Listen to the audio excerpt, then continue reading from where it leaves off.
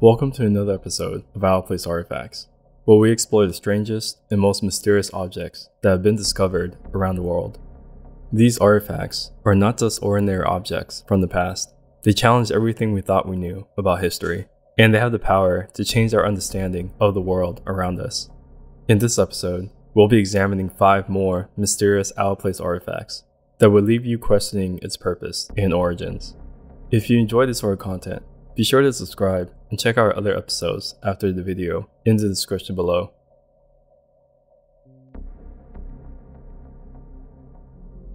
The Decalogue Stone The Decalogue Stone, also known as the Mystery Stone, is located on a mountain in west central New Mexico's desolate desert near Los Lagunas, roughly 35 miles south of Albuquerque. It's been suggested that the writing on the stone face is written in a kind of Paleo Hebrew or Cypriotic Greek, two languages that are thought to be extinct. The stone was first mentioned in print in 1933 by renowned New Mexico's archaeologist Frank Hibben, who wrote about seeing it on a guided tour conducted by a man who claimed to have discovered it in the 1880s. The claimed presence of the inscription in the late 1800s was situated before the present scientific discoveries of both Paleo Hebrew and Cypriotic Greek. Nonetheless, the inscriptions might be in Phoenician, a popular script at that period. Based on a 1949 translation by Harvard researcher Robert Pfeiffer, supporters of the Paleo Hebrew inscription say that it's a record of the Judeo Christian Ten Commandments. Dixie Perkins, an epigrapher at the University of New Mexico, suggests the idea of the inscription being Cypriotic Greek, which was employed circa 500 BC in the Mediterranean region in 1979. The stone appears to be a report from Zeki Neros, an adventurer or warrior who is now struggling to live after being lost in the woods, according to Perkins' translation. Many others, however, think the stone is a hoax, performed by Hibbins himself, much of whose work has been proved to be fake in order to bolster the concept of ancient pre-Columbian contact and even pre-Clovis people in North America. The Voynich Manuscript The Voynich Manuscript is one of history's most cryptic and mysterious texts. It's a handwritten codex filled with pictures of vegetation, celestial figures, and odd, otherworldly animals, written in an unknown language or code.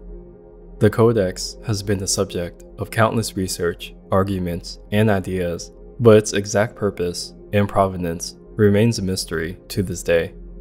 Wilfrid Voynich, a Polish-born antiquarian and book merchant who purchased the manuscript in 1912, was named after it. The text was obtained by Voynich from the Jesuit College in Frascati, Italy, where it had been preserved since the early 17th century. The manuscript's origins are uncertain, although it's thought to have been composed in the early 15th century, probably in Italy. Because of its cryptic contents and uncertain provenance, the Voynich manuscript is regarded as an out-of-place artifact. The manuscript's language or code has never been decoded, despite years of efforts by cryptographers, linguists, and computer scientists. The manuscript's drawings are equally perplexing, showing fantastical and bizarre vegetation that are unlike any known species, as well as astronomical figures that do not correspond to any recognized celestial patterns. The origin and purpose of the document have been the subject of countless theories and conjectures. Researchers disagree as to whether the book is an alchemical script astrological work, medieval medicinal, or an herbal manual. It has sparked the work of several books, documentaries, and even a Hollywood film. The manuscript's unusual and alien content continues to arouse interest and engage the imagination, and its actual significance and purpose may pique the interest of future generations. If you'd like to see the Voynich manuscript for yourself, the text has been digitized and posted online making it accessible to scholars and fans from all over the world for in-depth study and analysis. The digitization of the book has also led to fresh efforts to decipher its language and pictures using powerful computer techniques and artificial intelligence. The Crystal Skull of Lubaantun The Crystal Skull of Lubaantun is a life-size skull constructed completely of transparent quartz crystal, with intricate carvings that are supposed to accurately mimic the human skull.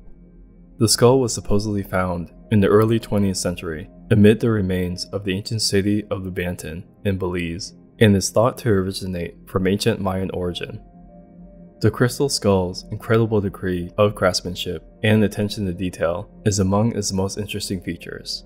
The detailed carvings on the skull, which portrays even the tiniest elements of the human skull, such as the sutures between the cranial bones, gives it an astonishing, lifelike appearance. Some people assume that the skull must be of ancient origin since the degree of detail would have required remarkable levels of skill and workmanship. Mystery surrounding the discovery of the skull has also been debated. Some believe that the skull was discovered by a British explorer named F.A. Mitchell Hedges in the 1920s, while others believe that a Mayan laborer who was excavating a temple in the historic city of Lubaantun found it by accident. Others say it is an actual Mayan artifact, made by experienced craftsmen using time-honored techniques. And lastly, others claim that it is a modern counterfeit, made by someone wanting to capitalize on the public's interest in ancient items. One of the more fascinating hypotheses surrounding the crystal skull is that it is part of a bigger collection of identical skulls constructed by ancient civilizations all around the planet. According to this hypothesis, the skulls were utilized for a variety of functions, ranging from religious rites to healing procedures, and they may contain secret information or abilities that have been lost in time. The crystal skull's appeal and mystique continues to enthrall people all around the world, despite the fact that its exact origins and significance may never be completely known. Others say it is a potent talisman that may cure and bring good fortune to people who own it. Others regard it as a devious fake, designed to deceive the naive and trusting. What do you think the Crystal Skull truly is? Let me know your thoughts in the comments below. The Oera Linda Book The Oera Linda Book is a controversial manuscript that claims to be a historical account of the Frisian people from 2194 BCE to 803 CE. Old Frisian, a language used in portions of Germany and the Netherlands, is the language of the book, which was supposedly founded in 1867 by Cornelius Over de Linden in the family archive in the Dutch town of Leeuwarden.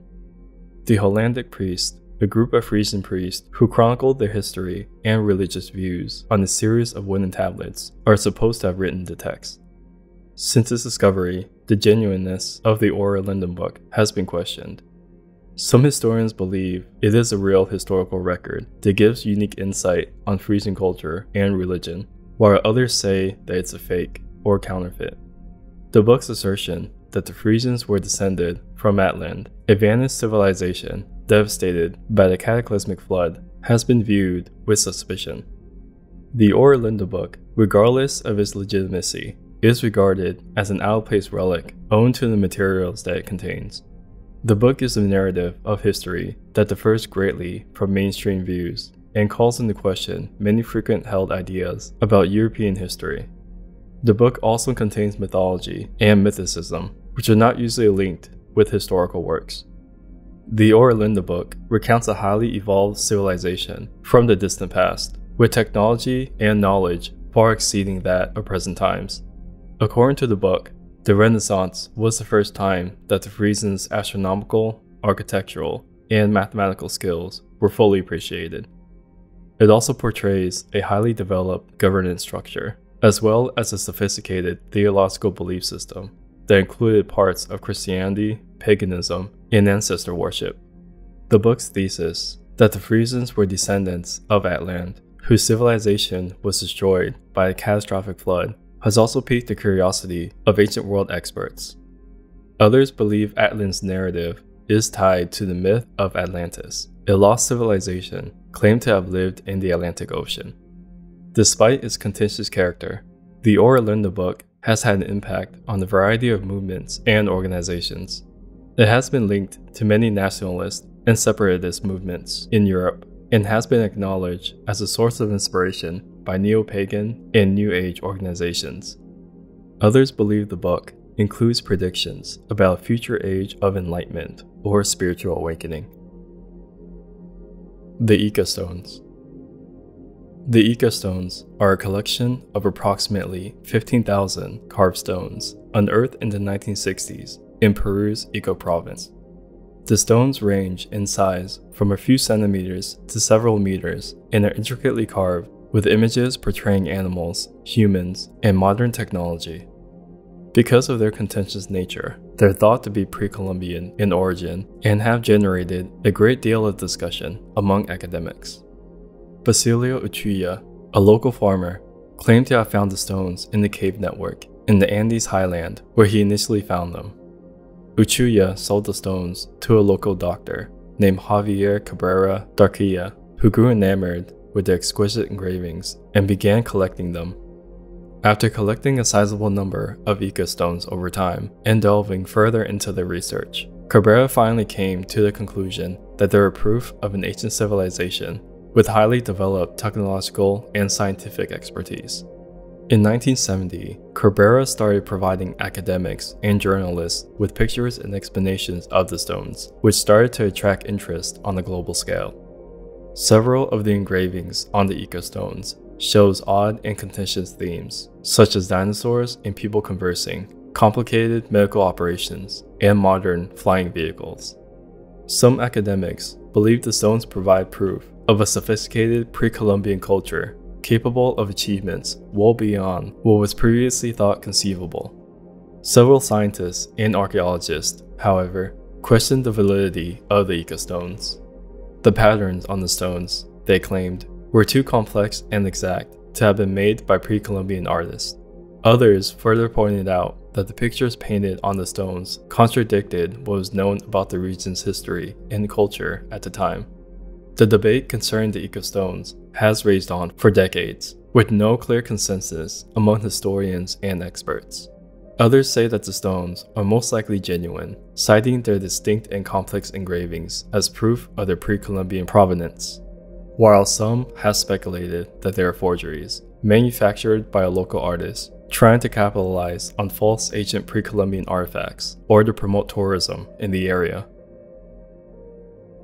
As we continue to uncover new out-of-place artifacts, we invite you to keep an open mind and to question everything you thought you knew about the past. These artifacts may challenge our preconceived notions but they also have the power to expand our understanding and to reveal new insight about the world we live in.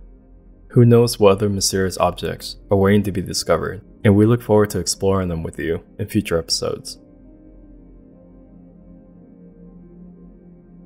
Thanks for watching our Late Night Top 5 channel.